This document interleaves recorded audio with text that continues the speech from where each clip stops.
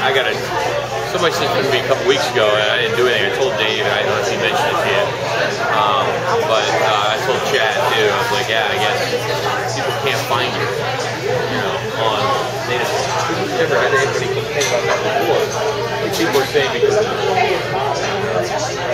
if you Google